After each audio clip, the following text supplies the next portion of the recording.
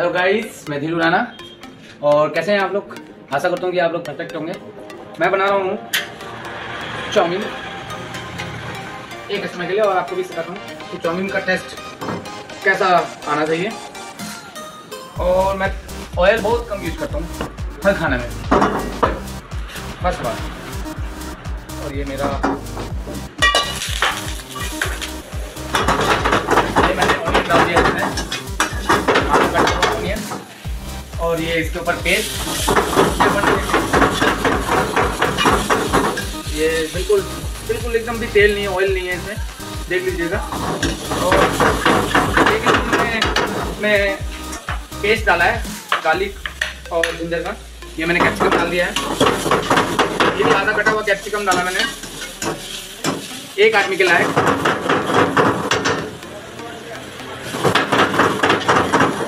ये मेरी चौमीन है जो वे से बन रही है।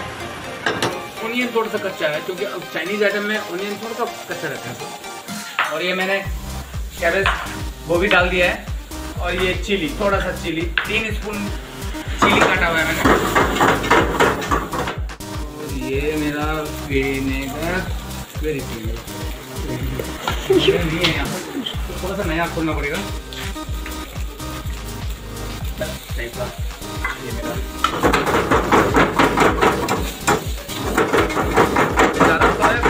कलर के लिए मैं चेंज करता हूँ, ज़्यादा यूज़ नहीं करता। स्वाद अनुसार मैंने ये डाल दिया आपके सामने।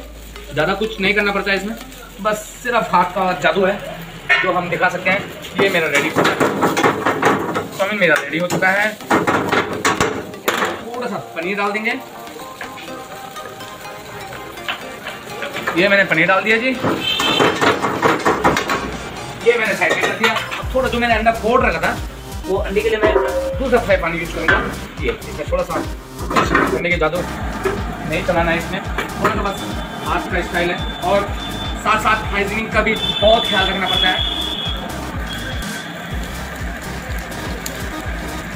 और प्लीज़ आप लोगों से निवेदन और रिक्वेस्ट है। अगर मेरा वीडियो आपको, आप सभी को भाई बंद होता है, अगर पसंद आना तो लाइक और सब्सक्राइब ज़रूर करें। और प्यार भरा दिल।